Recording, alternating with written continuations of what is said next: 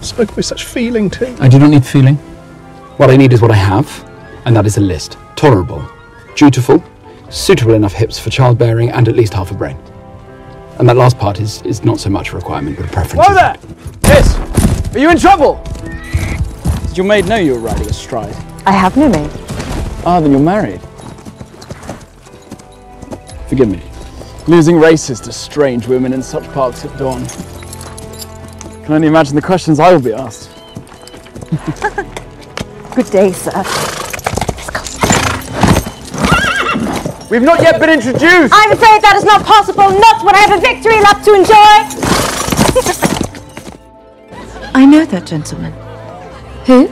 The Viscount?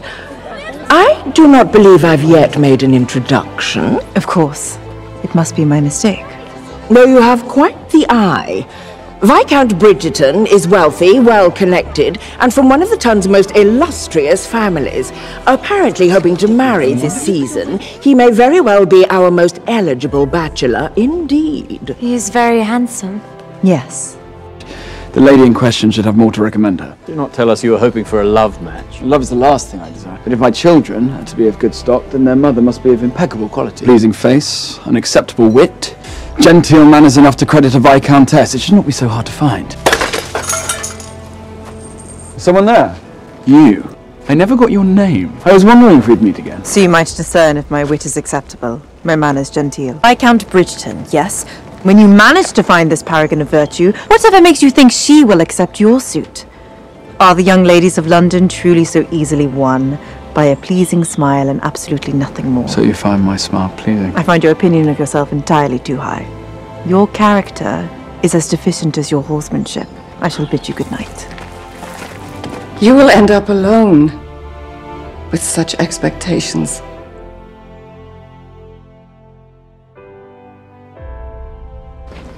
Though perhaps you could speak with my sister. It is her blessing you shall need if we are. Oh, here she is now, Kate. Ah, Lord Bridgerton. I see you've met Miss Edwina. This is, uh... Her sister. Miss Sharma, my lord. Is something wrong, Didi? You are not to go near that man, do you understand? She is a lovely diamond, dearest. Indeed. She is who I shall marry. Miss Sharma. Miss Edwina Sharma. Not the sister. Miss Edwina will suffice. Bridgerton! I'm afraid you are much too late, my lord. You now find yourself at the back of a very, very considerably long queue. Though I was hoping to speak with you.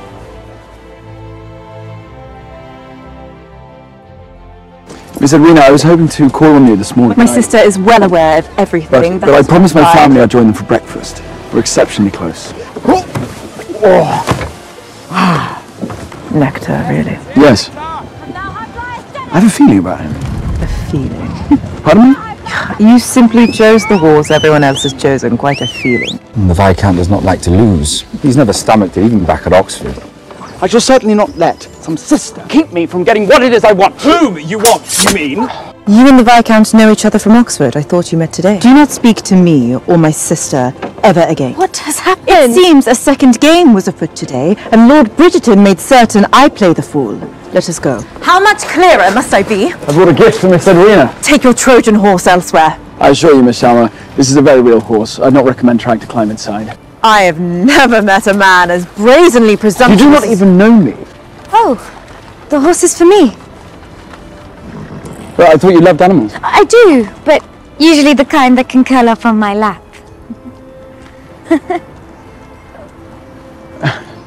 My apologies.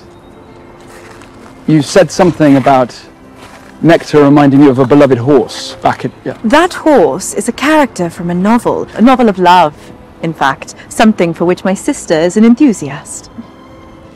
Lord Bridgerton, I did not expect you. No, I seem to have fallen off the guest list. Ah. All your defences crumble, that you would willingly take on any pain, any burden for her.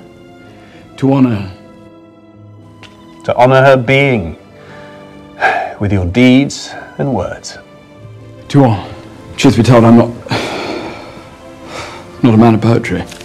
I may not be able to offer the display of passion that you truly deserve, but I assure you that when it comes to action and duty, I shall never be found lacking. And I hope that is what will speak louder than any pretty words ever can. I'm aware I've made a fool of myself tonight, Lady Danbury. I do not need to hear it from you. In fact, I do not need to hear it from anyone. I do not care what a single person here thinks of me. Once Edwina is married, I shall return home alone, only too glad to never set foot in this city again. Well, I cannot wait to meet the woman who has captured your heart. Tell me, what is she like? Miss Edwina is the picture of grace, beauty, and charm. Unfortunately, she has a most annoying sister who has styled herself as something of a gatekeeper. Ah. You're smiling. I see my plan to win you over is already working. I was smiling at the view. Newton is an excellent judge of character. Oh, see? And you must be Miss Edwina. No. This is her sister, Miss Kate Sharma. Ah, forgive me, Miss Sharma. I am entirely flattered.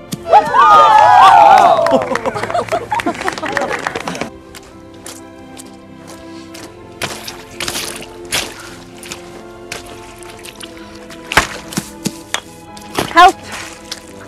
Just pull. I am trying. It is stuck.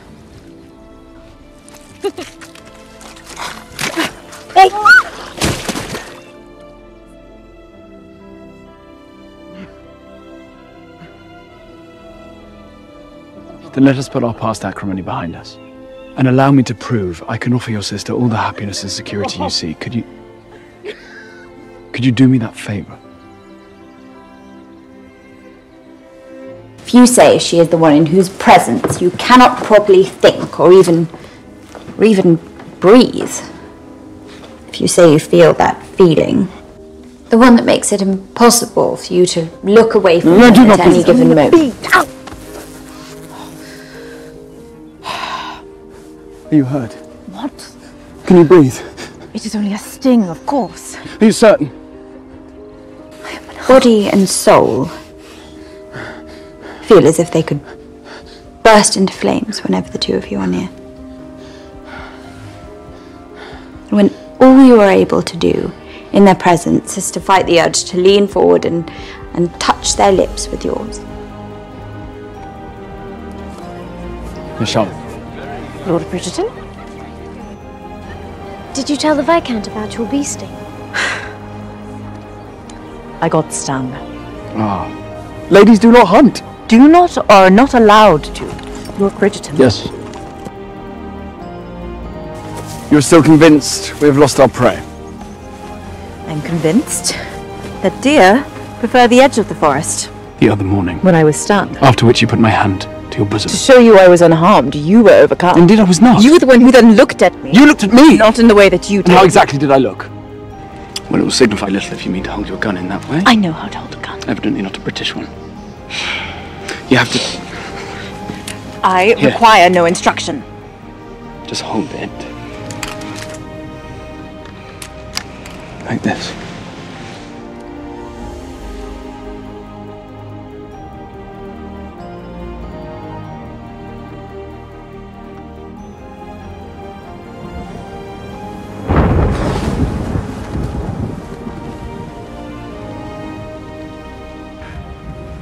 Lord Bridgerton. I did not mean to startle you. I saw a light and thought I might have left a candle lit. No, only me. This is my father's library. These books were some of his most treasured possessions. How did he die? He was stung by a bee.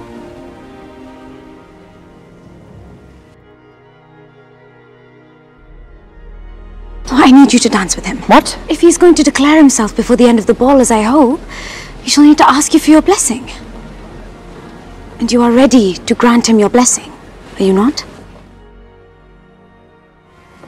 If your silence is an indication you are reconsidering your declaration, Is my that what you want for me to reconsider? it does not matter what I want. I do not think that is true. I am to return to India. The moment my sister marries. You will abandon her? Far from it, my lord. She will be married. She will not need me. There will be no more reason for me to stay. It was the plan all along. Why are you so distressed? When will you leave? Immediately. Once your sister is married? I presume so, yes. That is it, is it not? You simply do not like me. Of course I do not like Then you. tell me why. Why is it that you dislike me so? Because... Because you vex me. I am a gentleman. And your heart is with my sister. And my heart is with your sister. Tell me you feel nothing, and I will walk away.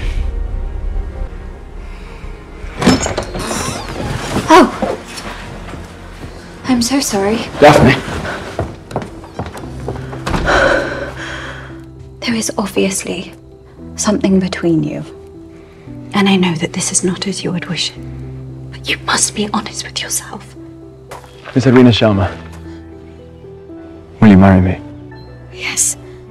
Because one way or another, these kind of feelings always have a way of coming to the surface. And what kind of feelings are those? Love. Miss Sharma. Then I know what I must do. Lord Bridgerton? Miss Sharma, we're here to have Miss Edwina's betrothal ring altered to fit. My apologies, but my sister and my mother have not yet returned home. Do you and your sister happen to share gloves? I. Yes, on occasion. I knew it. I can take the measure of a hand at 20 paces. We may use your finger to size the ring. Oh, I, I beg your pardon. That shan't be necessary. Nonsense. What a handsome couple they make. Pardon me? Mr. Dorset and my sister. I noticed that he was quite smitten with her the last time they met. Perhaps he will convince her to stay in England after all. She barely knows the gentleman. Miss Sharma. Lord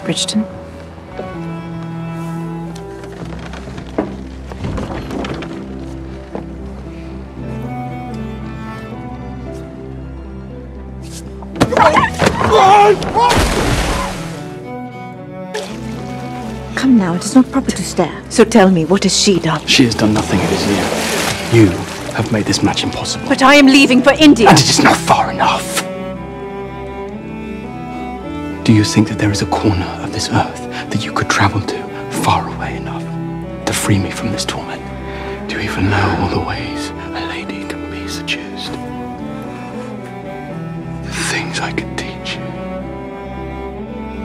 You are the bane of my existence and the object of all my desires.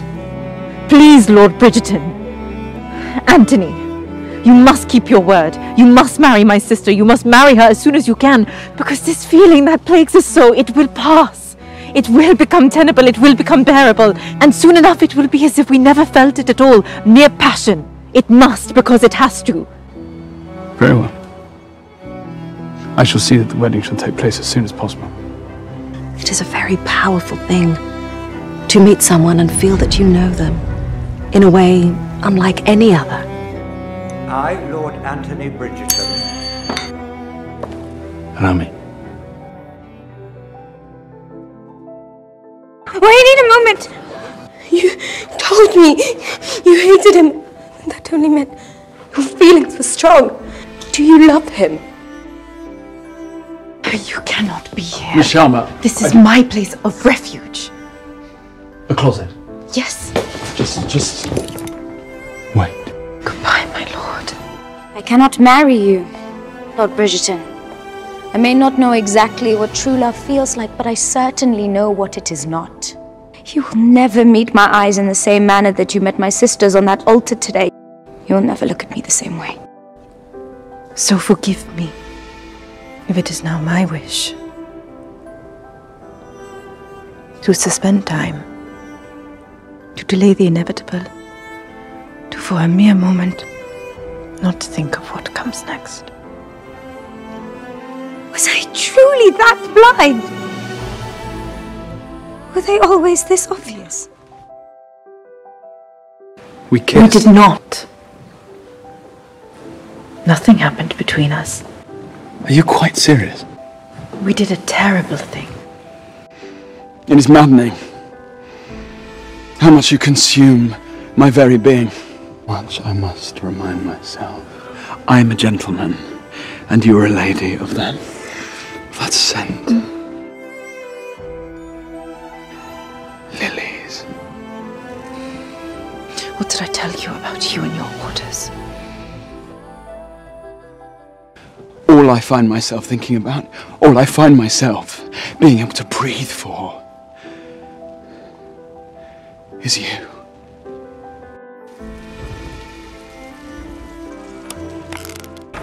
I must speak with Miss Sharma. She does not seem to be here. One of the horses is gone too. It's my fault. It is all my fault. She's awake. Mrs. Wilson heard from one of the maids. Do not lose her, Anthony. You cannot lose her. I came to apologize. Yes, you already and said to that. ask you to marry me. I'm returning to India. He was going to ask me to marry him. I could not allow it. Oh. You are running away. Please go. Lord Bridgerton. Miss Sharma. Be unafraid to follow your heart after doing the exact opposite for far too long. We should continue to keep our distance between us in light of this. Perhaps we should not. Are you going to ask me to dance? One last time. Are you going to say yes? Just keep looking at me. No one else matters. On every walk, every time we've been together, and every time we've been apart, you do not have to accept it, you do not have to embrace it, or even allow it, knowing you, you probably will not, but you must know it. In your heart. You must feel it, because I do. I love you. I do not know what to say. You do not have to say anything. I do not think there is anything else to say. Other than I love you too. I know I am imperfect, but I will humble myself before you because I cannot imagine my life without you, and that is why I wish to marry you. I suppose that means they are cutting out. No, no, no, we're not a cutting out. chance. You do know there'll never be a day where you do not vex me. Is that a promise, Kathani Sharma?